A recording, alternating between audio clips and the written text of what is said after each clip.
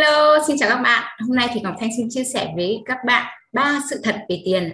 Sự thật thứ nhất đó là chúng ta không thể dùng tiền để mua được thành công mà chúng ta chỉ dùng tiền để có thể đầu tư cho thành công thôi ạ.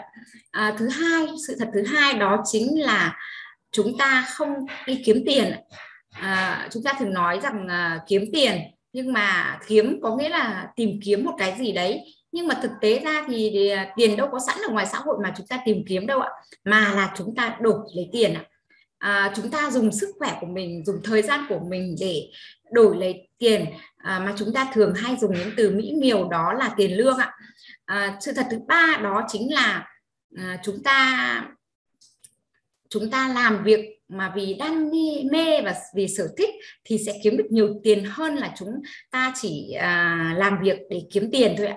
Chính vì với ba sự thật này thì Ngọc Thanh muốn gửi lời mời à, đến các bạn à, để đồng hành cùng Ngọc Thanh với một cái dự án tỷ đô. À, và với dự án này thì chúng ta có đầy đủ đó là à, tiền bạc là sức khỏe là tự do về thời gian. À, chúng ta làm việc để à, cảm thấy uh, thích thú cảm thấy uh, hạnh phúc cảm thấy được giúp đỡ được nhiều người hơn. Mà một công việc này thì uh, giúp uh, cho chúng ta có một sức khỏe tuyệt vời.